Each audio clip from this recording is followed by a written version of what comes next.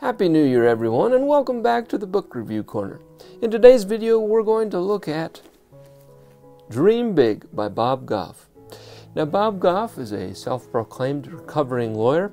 Currently, he's a motivational speaker as well as an author of several books. This particular book was gifted to me, and I think it was a great way to start the year because it is talking about dreams and where you're headed in life. With that said, I have a few key takeaways from Dream Big that I'd like to share with you today.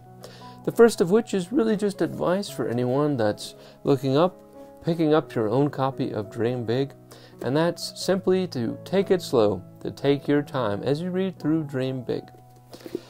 Not only is there a bunch of different ideas to help you process and work through what your dreams are, there's also a number of questions in the back of the book to help you discern who you are, where you are, and where you're going. And speaking of where you are, that's really my second takeaway from the book. When I started Dream Big, I had some concepts of what I wanted from life. Those have been developing and changing as the years have gone on. And you may have even noticed some changes between a couple years ago when I made a first video about New Year's goals to last year to this year. Every year, some of it changes, some of it stays the same. And this conveniently takes me to my third takeaway from the book, which is that your dream is your dream, not someone else's.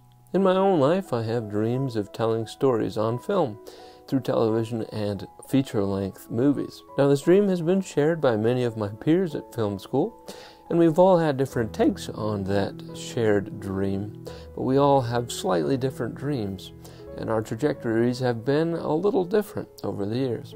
At times, it's been really easy to look at my friends who have stayed in Los Angeles or moved to New York and entered in different roles and different film sets or television shows that I've been kind of envious of and imagined my life was somewhat less worthwhile because it wasn't like theirs. If you're feeling this way, know that there are many different avenues to get to your dream. And if your life doesn't look like someone else's who has a similar dream, that doesn't mean it's on a bad trajectory. You may have a completely different journey ahead of you than someone else. You may reach different milestones at different times. You might even work in different industries or live in different states or different countries than your peers and still share a similar idea of what you want your life to be. My encouragement to myself and to you is to not let those things get you down.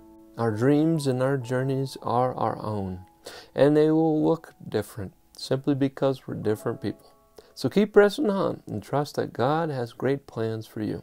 Those are my thoughts on Dream Big. I really hope that you get a chance to look over the book yourself and really spend some time thinking about what your dreams are for the year, but also for the greater extent of your life. Wherever you are, I wish you the best as you dream big and figure out what it is that you want to do in this beautiful life. And thank you so much for watching this video. If you liked it, please give it a big thumbs up. And if you haven't done so already, subscribe down below. And I will see you in the next video.